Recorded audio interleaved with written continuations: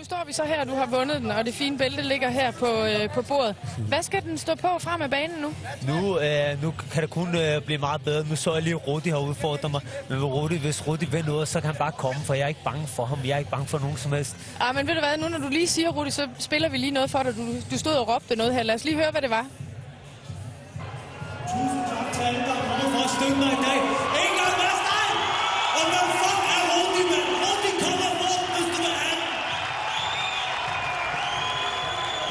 Sådan lidt, øh, du virker lidt aggressiv, da du siger det her. Er det fordi, der har været lidt i kulissen omkring den her kamp med Rudi Markusen, eller hvad? Nej, altså nu, jeg fik da vide i dag, at han vil gerne vil møde mig. Men så det eneste, jeg kan tænke på, det er bare, at min lillebror har bare gennemsmadret ham. Og så vil han møde mig også. Fint, lad ham bare komme. Er det en kamp, du gerne vil? Ja, mand. Hvis Rudi vil noget, så kan han bare komme. Hvad så, Rudi? Så kom du. Endelig. Rudy, you came. Very good.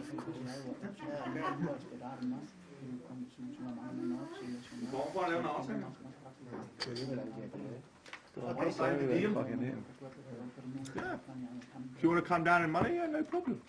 I've talked, Kenneth. Kenneth, I'll only talk to Rudy, mate. Sorry. Uh, Rudy, we'll sit down afterwards. Let's thrash out the deal. I'm here. No problem. After? Yeah, let's sit down. Now? Yeah, no problem. As long as Patrick wins the fight, no problem. I'm, I'm happy you came. We're going to invite you to the fight. That's good. Yeah. Good that you're here. Okay, great. Oh, I'm sure we can hear from both. Uh, So Rudy- good to see your face, Rudy. It's been so long. You're looking good. You're looking in shape. June 20th. Let's do it. Perfect. No, no, let's it's talk fine. about that. Perfect. Have you been? Give me a chance. Give me uh, after the summer. Patrick, give mig en fast. After the summer.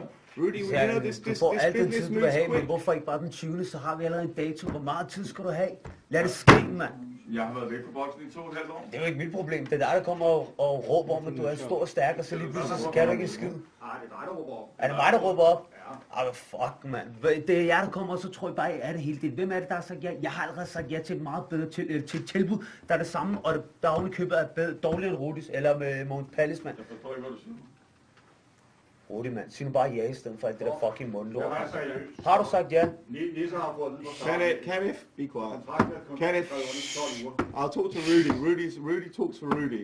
You know. Åh, det er Rudy talks to Rudy. I talk to Sig Rudy. ja den That's 20. what I deal mand, så har vi en aftale. Så er det være med det der It pis, doesn't mand. make any sense.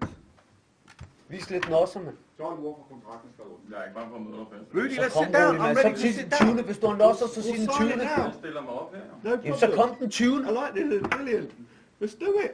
We're ready. Så hvis du har nosser, så kom den 20. We'll do Hvorfor it. må du ikke give mig chance for Ja, hvorfor har du ikke nosser eller hvad? Kan du ikke komme den 20. Nå, så jeg var væk to og halvt år. Det er da ikke noget, hvis du har nosser, og du er så stor og stærk, så kom nu den 20. Det er efter sommer.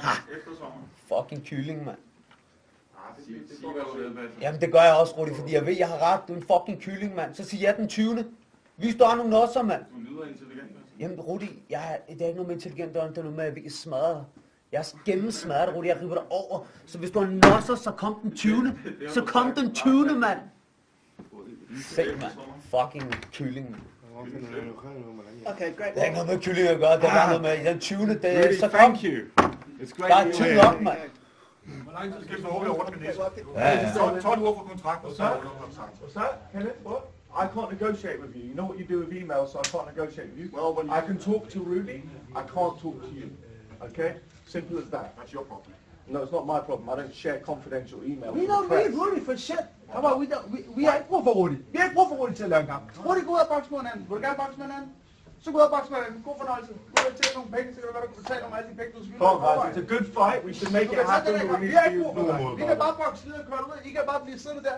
Så går over sulten på Mogens, eller på Hans, fordi de ligger og knipper i røven alligevel. Hvad fanden er det for noget pis?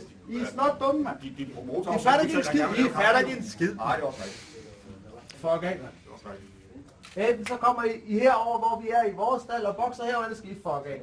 Fuck ja, mand. Sådan er det. Det er på vores konditioner, ellers skal I bare skride. Det får vi at se. Det kan være, det bliver sådan. Nå, ellers så bliver det ikke noget. Så fuck af. Hvad fuck laver jeg så? Du kan da sagt sagtens gå ud og skrive under alle mulige andre steder, hvis du ved, at kampen ikke kan blive til noget. Hvad fanden er det for noget pis? Vi må se. Så er det dumt, mand. Vi må se. Fucking måne op, mand. Okay. Hey, patch your legs.